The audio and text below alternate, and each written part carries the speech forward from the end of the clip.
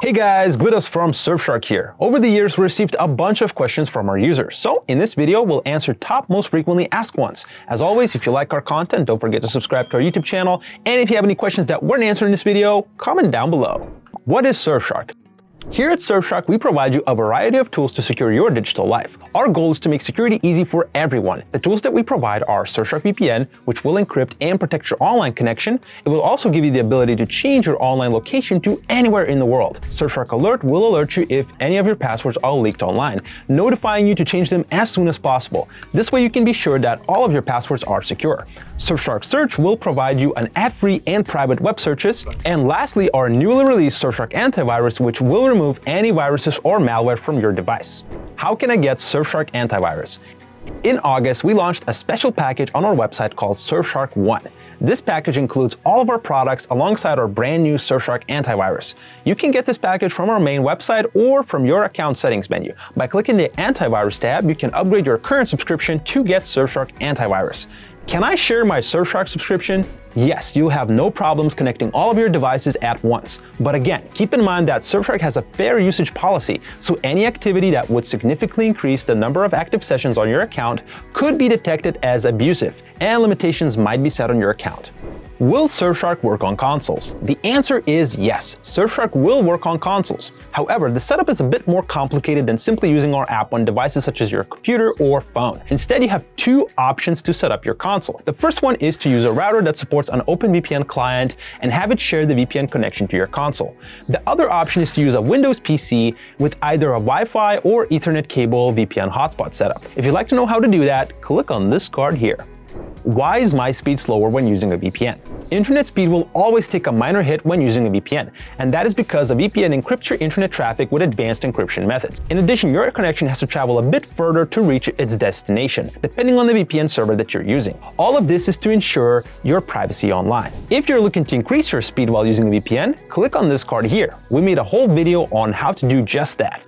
How to install Surfshark on an Amazon Fire Stick. You can download the Surfshark app on your Fire Stick via the Amazon store, just like any other Fire Stick app. One important thing to keep in mind is that if you have an older first generation Fire Stick, the Surfshark app will not work. You can quickly identify the one that you have by looking at the remote. For more information, check out our Fire Stick how-to video on our channel. Why am I getting so many CAPTCHAs when using a VPN? CAPTCHAs are used to prove that you're not a robot. When you're connected to a VPN server along with a lot of other people, the website that you're trying to access might might think that automated machines are simultaneously causing these multiple requests from the same IP. Therefore, you start receiving CAPTCHAs. To avoid them, switch to a server that has less load. This small bubble on our apps indicates how loaded each server is. So just pick a location that has less load and you should be good to go. Why doesn't CleanWeb block YouTube ads? To answer this question, first we need to know how CleanWeb works. To put it simply, CleanWeb checks various DNS addresses of ads or other traffic and only blocks what is considered malicious. As YouTube is not a dangerous website and the ads seen there are not recognized as harmful, they are not blocked by our system. What is Bypasser in Surfshark? Bypasser is a Surfshark VPN feature available on Windows, Android, and browser extensions. Bypasser allows you to choose which specific apps or websites you want to route via VPN and which one's not. This is useful if you only want to use the VPN on specific apps or websites. A quick note is that this feature used to be known as Whitelister, so if you have an older version of our app, you may see it named differently. When will you implement features like port forwarding, dedicated IP, or other? Here at Surfshark, we are always looking to improve our services. At the moment, you can vote on various suggestions via our website in the account settings menu. Here you will find a tab called Product Ideas. To vote, find the idea that you like and click Upvote. Our team will consider the ideas that have the most votes for implementation. What is the difference between the Surfshark app and the Surfshark browser extension? The difference is that the app secures your entire device, including all of your apps and browsers, while the browser extension, on the other hand, only secures your browser traffic. We provide users the flexibility to use one or another. For example, in some cases, you may be unable to install our app due to the lack of admin rights but the extension may work beautifully. An important thing to keep in mind is that you should never, never run the app and the extension connected at the same time, as this could cause major connection issues. Do I need to use Surfshark if I use Tor? The short answer is no you don't, because Tor helps you stay private on its own. The only problem is that it could be very, very slow.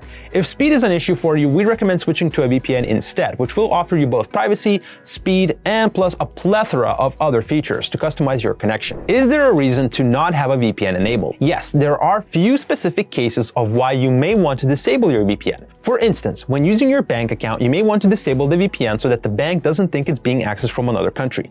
Or if you are a competitive gamer where lower ping is super important, I'm looking at you Valorant and CSGO players, then you may also wish to disable the VPN to allow better ping. Of course, in these cases, we recommend using our bypasser feature, which will still keep you secured and allow you to bypass the VPN for those specific instances. How to know if my VPN is working? The best way to confirm that your VPN is working is by checking your current IP online hop over to surfshark.com slash whatismyip and you will see if you are protected. We highly recommend checking out our full video on how to see if a VPN is working, and for that, click on this card here. Which Surfshark social media platforms are the most active? We are available on the most popular social media platforms, including Twitter, Instagram, Facebook, Reddit, YouTube, and even TikTok. We are the most active on Instagram and Twitter, so make sure to follow us there. But true Surfshark fans hang out on Discord. Invitations to the server are sent out to our loyal customers every month, so stay tuned.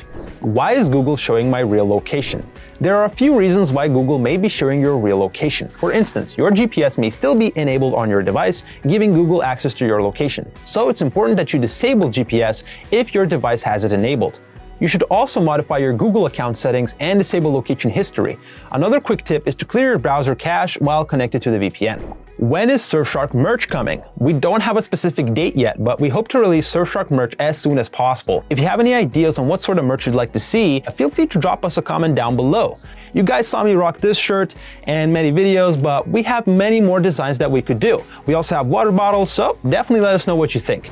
And that's all the questions I have for you today. Don't forget to like this video if you enjoyed it, and as always, stay tuned for more videos every week.